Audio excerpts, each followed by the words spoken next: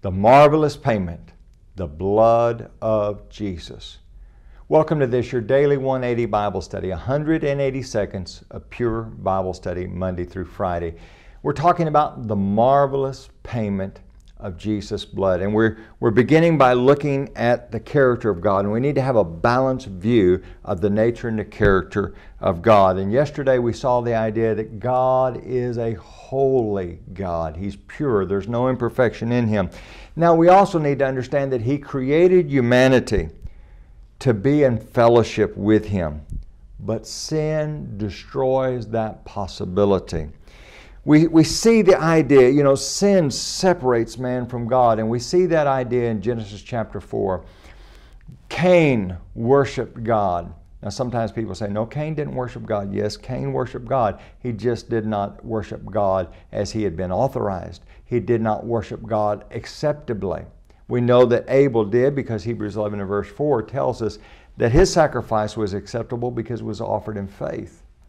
But Cain, he separates himself first from God, and then, because God even says to him, He says, Cain, if you do the right thing, you'll be accepted. But Cain wouldn't do that. He became angry. He killed his brother. He separated from his brother. He separated from his God. He separated from his family. And ultimately, he separated from the rest of humanity. That's what sin does. Isaiah 59 1 and 2 talks about the fact that sin separates man from God. What a horrible reality that that is. Romans chapter 3 and verse 23 tells us that this is a problem that every accountable individual deals with. When I say accountable, I'm talking about people who have the intellect, they have the age, that they can understand these things.